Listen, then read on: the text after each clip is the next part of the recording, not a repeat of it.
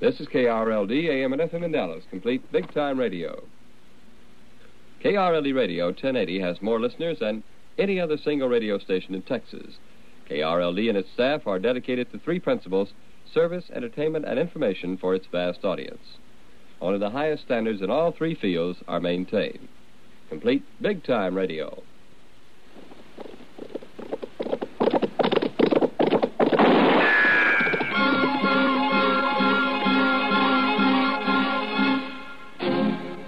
Around Dodge City and in the territory on West, there's just one way to handle the killers and the spoilers, and that's with a U.S. Marshal and the smell of gun smoke.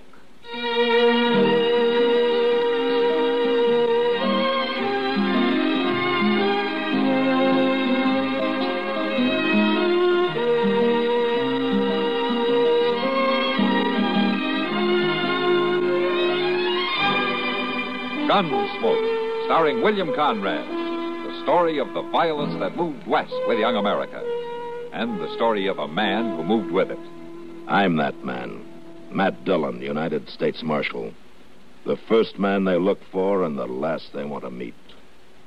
It's a chancy job, and it makes a man watchful and a little lonely.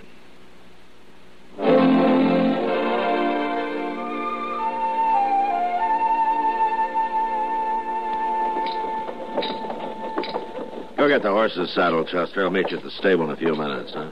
Maybe I ought to stay with you while you tell her. I might be of some help if she starts throwing things. Don't worry about Kitty. She'll understand, all right. I wouldn't count on her, Mr. Dillon. She's been looking forward to this sociable for weeks. Uh, some things can't be helped, Chester. The law comes before town socials. Kitty knows that as well as I do. Yes, sir. Well, good luck. Uh, if I'm not there by the time you're ready, you bring the horses back here to the Long Branch, huh? Yes, sir, I will. Hello, Sam.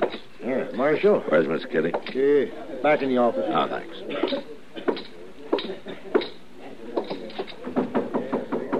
Come in. Hello, Kitty. Oh, Matt. You're early. yeah, I, uh, I came by to tell you that uh, I won't be able to go with you after all. Oh? Uh, yeah, you see, I just got a telegram from the sheriff in Springfield. I got to go over there and pick up a prisoner and bring him back here for trial. And you're leaving right now? Uh, well, yeah, Chester's getting our horses. Well, couldn't it wait for three hours? Well, it's a two-day ride up there, Kitty. Judge Blint will be in Dodge for the trial on Friday, and I'd be cutting it pretty close as it is. You understand that, don't you? Oh, of course. Doesn't matter. There'll be another social next year. Yeah. Besides, I'm not too sure I like this new dress I bought anyway. Oh, uh, that's very pretty. I'm glad you like it. Uh, Kitty, I know you've been looking forward to this. Just because I can't take you is no reason that you you shouldn't go. You know, there are plenty of fellows who'd be more than happy to take you. Oh, you're right, Matt. Shouldn't be any trouble at all to find two or three escorts for the next half hour. Well, sure. Uh, I'm sorry, Kitty. I, I'll see you when I get back, huh? So long. So long, Matt. I hope you have a real nice trip.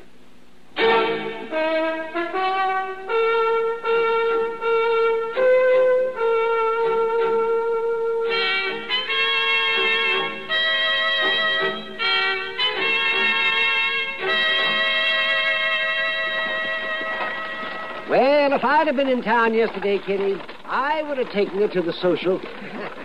That's sweet of you, Doc, but uh, I don't think I'd have gone anyway. Matt sort of took the wind out of me. Nah, but Kitty never depend on a marshal. Uh, or a doctor either, when it comes to social affairs. I suppose I should have resigned myself to that by this time, but it, it hurts all the same. Sometimes I think I'd be better off if I got out of this town. Maybe went to San Francisco. San Fran- Oh, no, no, Kitty. No, you'll feel different when Matt gets back. Everything will be the same again. Oh, yeah, that's one thing I can count on. Everything will always be the same. The Arkansas is just over there, Kitty. Maybe we better water the horse and head back to Dodge. You getting hungry, Doc? Oh, I won't have any trouble eating a good-sized breakfast. But, oh, but more important, I, I have to be back at the office. Mrs. Ketchum is bringing her kids in this morning. All six of them? All six of them. One's going to give them their smallpox vaccinations. Uh, Doc, hey, look. Huh? Is that a man lying over there? Well, I see. Uh, yes. There's, there's something wrong. He, he must be hurt. Yeah. Whoa. Whoa. Uh, Here, here I'll, I'll give you a hand, Yeah. Kitty. Yeah. What's the matter, mister? I didn't know how Well, This man needs help, Kitty. He's lost a lot of blood. What's wrong with him? He's been shot. He needs help bad. Oh, What can you do for him way out here? Best thing would be to get him into Dodge. But I don't think he'd make it. Uh, Rudd Stewart's place isn't far from here. Yes, you're right, Kitty. We'd better try to get him there.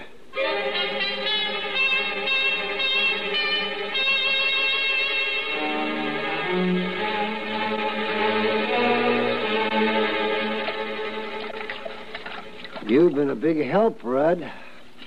I appreciate you letting us bring this man in here. Yeah, that's the least I could do, Doc, considering what you've done. That's one thing I don't think I could ever do. Take a bullet out of a man. Well, I'm just thankful we got it out in time. You think he'll live, huh? We should. It's up to him now.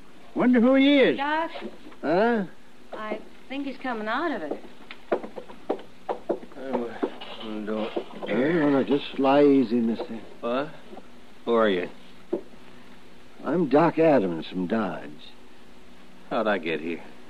Well, we found you out in the prairie and brought you here. Oh. Uh, where's my horse? I put him out in the barn, young feller.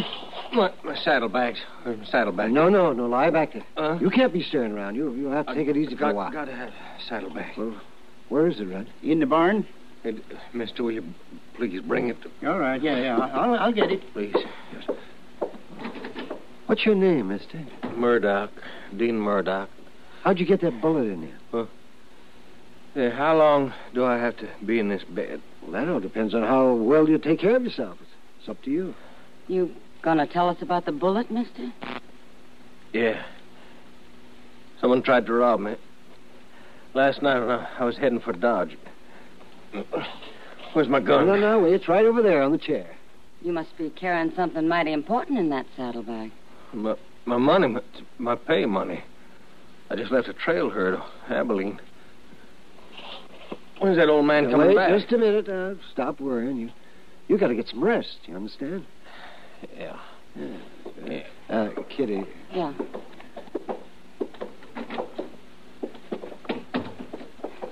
You believe him, Doc? well, I don't know why not. He seems like a nice enough fellow. Yeah. You really think you'll be all right? It'll take a few days, though. I should get him into the office, but he can't be moved until tomorrow at least. But he'll have to have proper care today. Doc, Yeah? I'm a pretty good nurse when I have to be. Oh, no, no. This isn't your responsibility. Well, it's just as much mine as it is yours. You can't stay. Mrs. Ketchum's bringing her kids in. Remember? Oh, no, no. I, I, I'm not leaving you here. Uh, Rudd can take care of you can't depend on Rudd. He's too feeble. I'll, I'll stay here today. Oh, well, I, I don't know. I, I suppose it'll be all right. If I, but I'll come back this evening and see how he's doing. And then I'll take you back to Dodge. All right, Doc. And don't you worry about a thing.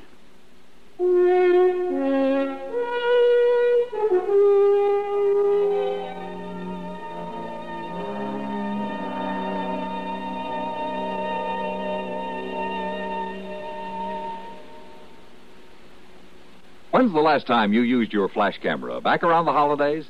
Well, before another big event comes up in your house, why not take the camera down from the shelf and try it out?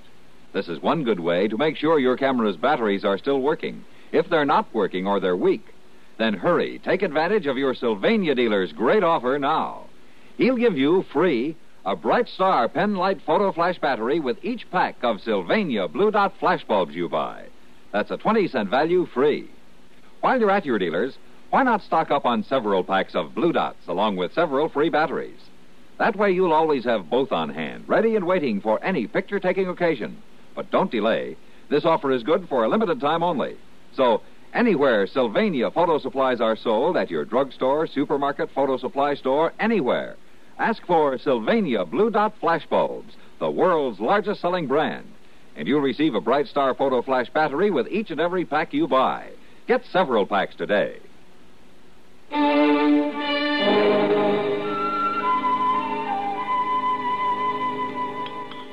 You feel like some more soup, Dean? Yeah, I guess. Uh, here, I'll hold the spoon for you. Ah, there. That ain't bad. Well, this will bring you back your strength quicker than anything else. Oh, I feel better already. You know, that sleep you had brought the color back to your face. Hey, now, just why would a big-time saloon owner spend her whole day nursing a saddle bum like me? Oh, I haven't taken the time to figure out the reason why. Eh? Well, I'd say I'm pretty lucky. Where are you from, Dean? Down Texas. Used to be with the Rangers down there. Why'd you leave? Oh, didn't want to be a lawman the rest of my life. Too many regulations, too much responsibility. So I hear. So I resigned and joined a trail herd going north and left them in Abilene, and, and here I am. You said you were headed for Dodge. You gonna settle there? No. No, just going through. On my way to California. California? Yeah. You ever been there? Yeah, once. Long time ago. Kitty, you you got ties in Dodge? Well, there's the Long Branch. Yeah. What else? Or is it who else? Oh, you're getting nosy. No, just uh, just call it interested. And I don't meet many people I'm interested in. Here, eat your soup. Thanks. No, I, I ought to be well enough to go on another week. Now that ought to give you enough time to sell that long branch, and then you can come along to California with me. How about that? Don't tempt me. No, with your money and my money, you can buy us a whole stack of long branches in San Francisco. Where'd you get all your money anyway? Oh, I had a good bit saved up before I joined that trail herd. And then with my pay money from it, that give me a nice stake. If you were really smart, you'd put that money in a bank instead of No. carrying it around in your saddle. Ain't heard of a bank yet was safe. I want that money where I can see it. Oh, Miss Kitty, there's a man riding up out front. Who is it? I don't know. What's he look like? Don't look like anybody I know from Dodge. He, he riding a pinto? Yeah, as a matter of fact, he is. Do you know him, Dean? Yeah, that's the man that shot me last night. Huh? I gotta get out of Now, here. Now, you wait a minute. You're in no shape This to could go mean anywhere. trouble for you and Rudd, Kitty. He knows I have this money. Dean, please lie down and listen to me. No. Now, Rudd can go out and tell him there's no one here. He'll believe Rudd. There won't be any trouble. That's right. I, I can tell him. I'll go out and meet him. Hurry. Yes, ma'am. Kitty, you don't know this. Quiet.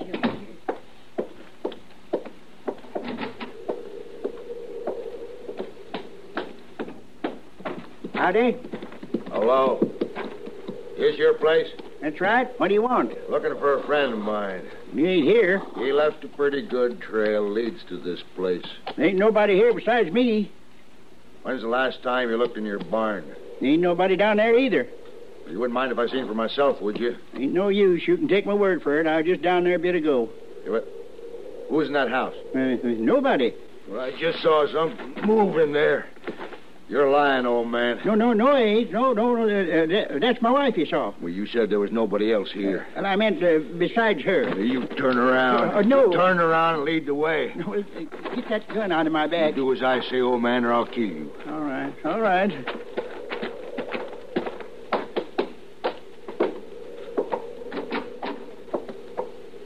See? Ain't nobody here. Where's that door lead to? Just a bedroom. All right, Dean. If you're in there, come out. Don't try anything or I'll kill the old man. All right. We're coming in. Move. Ah, open it. Don't do it, Rudd. Ah, Drop the gun, mister. Get your hands up. now look. Drop the gun, I said. All right. Get up, Rudd. Now, you get out of here, mister, or I'll kill you. He's in there, ain't he? You're hiding. Go on! Get out! I don't think you got the nerve to shoot me. Don't try me, mister. Get out of the way, Kitty. Uh, Dean!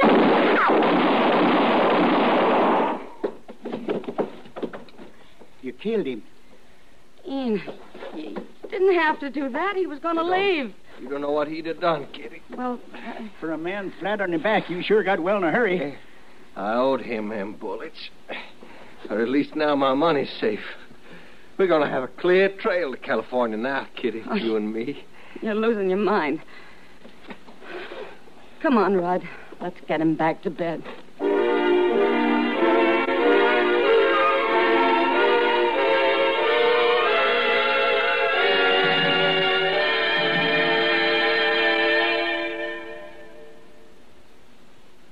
See speed laws and other regulations as restrictive? Well, that could be more infantile than believing one can prove his superiority by ignoring a stoplight. Unfortunately, too many drivers on the road subscribe to that kind of emotional outlook. The result is tragic. Almost 85% of all traffic accidents in America are caused by careless, childish driving. We hope sincerely that your attitudes are adult. We hope you know our traffic laws and the people who enforce them are there to help save your life.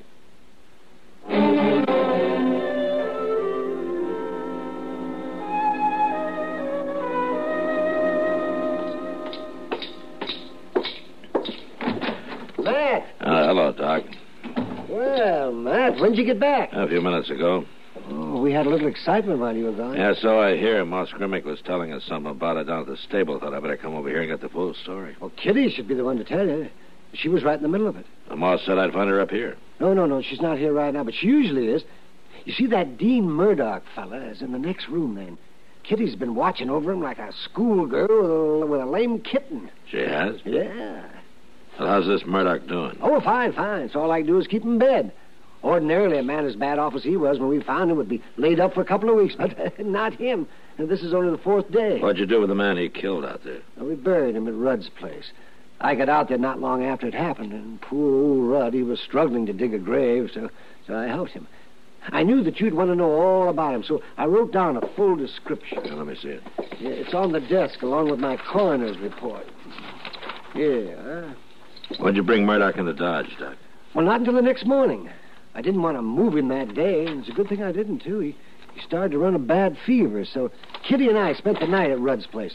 You should have seen her, Matt. She, she was up most of the night, keeping wet cloths on his forehead, and if you ever need a good nurse, you know where to get one. Doc, this description fits the man I was supposed to pick up in Springville. What? Yeah, his name is Blade Grant. By the time I got there, he'd broken jail. Well, I'll... You mind if I go in and talk to Murdoch? No, no, come on. Dean, this is Marshal Dillon. He wants to talk to you. Oh, hello. Dean? Didn't know this town was big enough to have a marshal. Oh, now, don't tell me Kitty hasn't told you about Marshal Dillon. No, she didn't. Well, huh, well, well, I'll be in the other room if you need me. Thanks, Doc. Dean, how well did you know Blade Grant? Who? Blade Grant, the man you killed at Rudd's place. Oh, was that his name? I'm pretty sure of it. What did you know about him? Nothing. Oh, well, Blade Grant and his partner robbed the bank in Springville. The sheriff stopped Grant and jailed him, but the partner got away with the money. Now, five days ago, the partner came back, killed the sheriff, and let Grant out of jail. Oh, Marshal, I don't know nothing about it. I just got in from Springville. I was supposed to bring Grant back here for trial. Well, all I know is, Marshal, he's the man tried to rob me, if it's the same one. Yeah. They tell me you keep your money in that saddlebag, huh? That's right. If you don't mind, I think I'll take a look.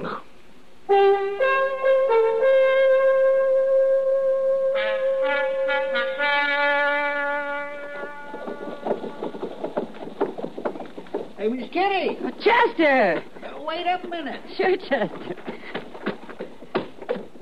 Well, I, I seen you from across the street. I didn't know you were back. Yeah, we rode in just a little bit ago. Where's Matt? He went up to Doc's office. Well, I was just going there myself. Oh, well, I'll walk with you. Sure. Hey, we heard all about what happened to you out at Rudd's place. That sure was something. Well, I'll never forget it. How was your trip? Long, dusty, and all for nothing. Gunshots. Sound like they come from Doc's Let's office. go.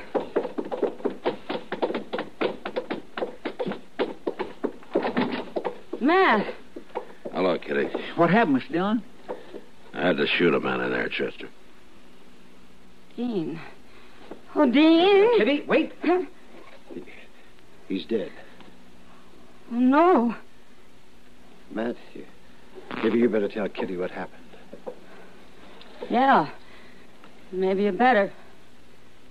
Well, Kitty, Dean Murdoch had a partner, Blade Grant, the man he killed out at Rudd's. They robbed a bank up in Springville. Dean? The sheriff caught Grant, but Dean got away, and then he came back and broke Grant out of jail and killed the sheriff. I can't believe that. That's true.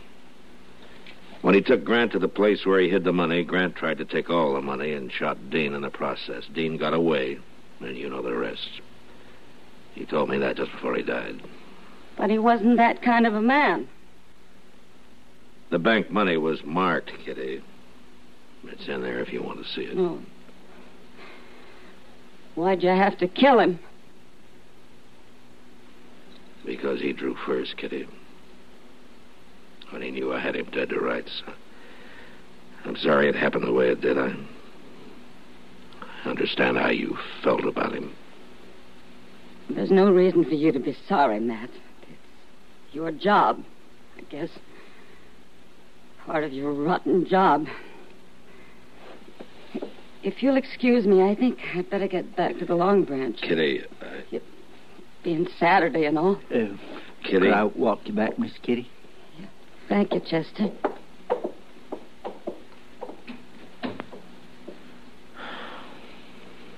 Oh, Doc, what do you think? Well, she took it a lot better than I thought she would. Why don't we take care of things here and then uh, go on down to the Long Branch? And buy Kitty a drink, huh? Yeah. I think she'd like that.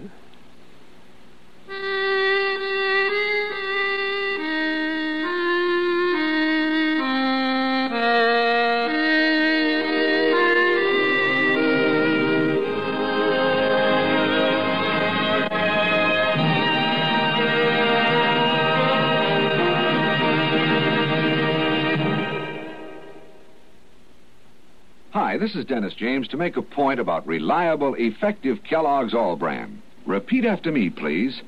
What do you want when you need bran? What do you want when you need bran? Reliability.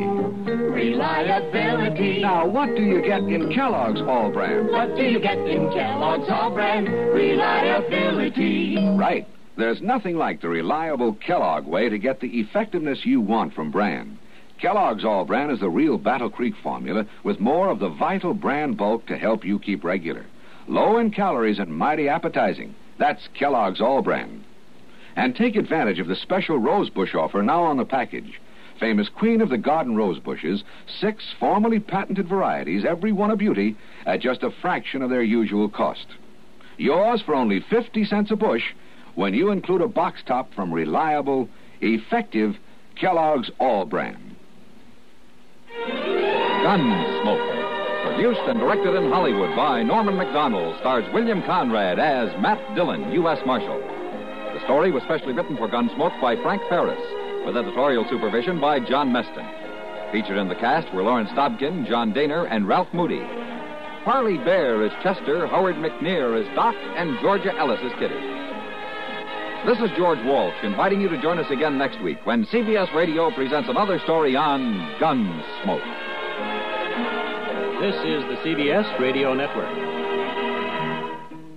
Louis de Rochemont's Windjammer, a modern adventure on the high seas, now showing at the Wynnewood Theater in Cinemiracle. The three projector process that casts its image on a gigantic curved wall to wall screen. See the exclusive engagement, Windjammer, at the Wynnewood Theater, Zang's at Illinois in Oak Cliff. Call Whitehall 29529 for reservations. You're in tune with KRLD, AM and FM Dallas, complete big time radio. Each Monday night at 8:10, when KRLD salutes one of the high schools in this area, you'll be entertained with music by the high school bands. You'll also enjoy songs by the various choral groups. Listen Monday night at 8:10, when KRLD will salute Grand Prairie High School. Stay tuned now for the news of the world tonight, followed at 7:15 by Howard K. Smith. KRLD time now 7 o'clock. The downtown temperature 46 degrees.